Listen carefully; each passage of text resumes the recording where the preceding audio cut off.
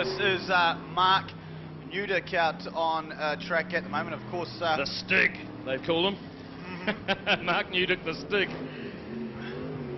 and again, isn't it just uh, amazing to watch when these guys just put their put their hammer down and they just bounce, they just leap out of the water, don't they? Look, what I can't get my head around is how much faster they can go the next time, and the next time, and the next time. It's, whoa, getting mighty out of shape there.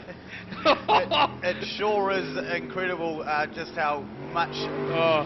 speed they do pick up. I mean, you'll notice it right throughout the evening. Oh, oh, oh. Right, right now you're thinking, how can he possibly go any quicker? He's, and just as you were saying that, absolutely at the time you were saying that, they were looking a little bit ragged to, uh, to, to coin one of the phrases of our counterpart here. And uh, boy, oh boy. Yeah, up on that uh, island.